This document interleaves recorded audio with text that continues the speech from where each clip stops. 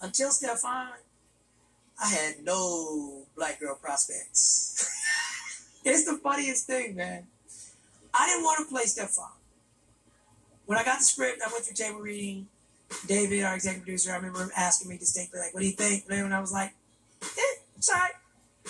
And so um, I was as caught off guard by the phenomenon of Stefan as anyone.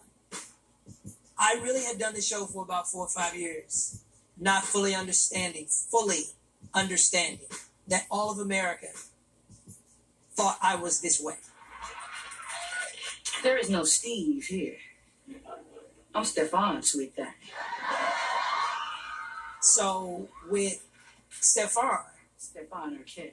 Again, I throw my heart into anything I, I do. So I knew how to play him, and he, he got better. But um, I'll never forget hitting that living room door for his entrance in the white suit. To this day, I just never heard a scream for me like that. And my my instinct was to break character and be like, "Are you kidding me?" But in that moment, I knew not to do it because I was like, something really special is about to happen to propel us through this scene. Stefan saved my life. like, without Stefan, holy crap, what was about to happen?